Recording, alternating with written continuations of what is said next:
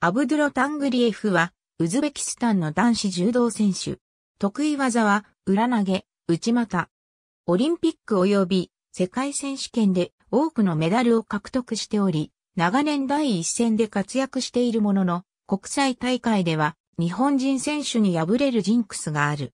初の五輪である2008年北京夏季オリンピックでは、決勝で日本の石井聡の前に敗れて銀メダルだった。その北京オリンピックにおいて、準々決勝で世界王者であるフランスのテディリネールに勝利して決勝進出を果たした。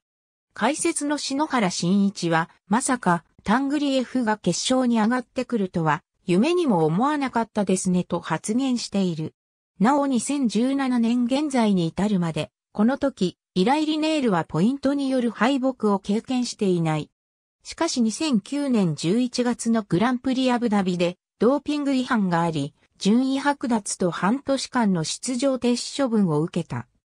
2011年10月にロシアのチュメニで開催された世界柔道選手権大会無差別では決勝でハンガリーのボルバルナに一本勝ちして30歳にして世界大会初の優勝を果たした。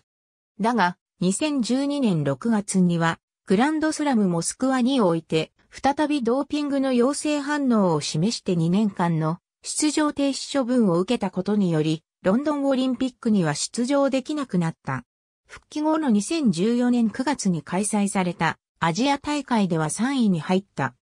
2016年のリオデジャネイロオリンピックでは35歳という階級最高齢ながら準決勝まで進むも、日本の原沢久喜に反則負けを喫すると3位決定戦でも地元、ブラジルのラファエル・シルバに敗れて5位にとどまった。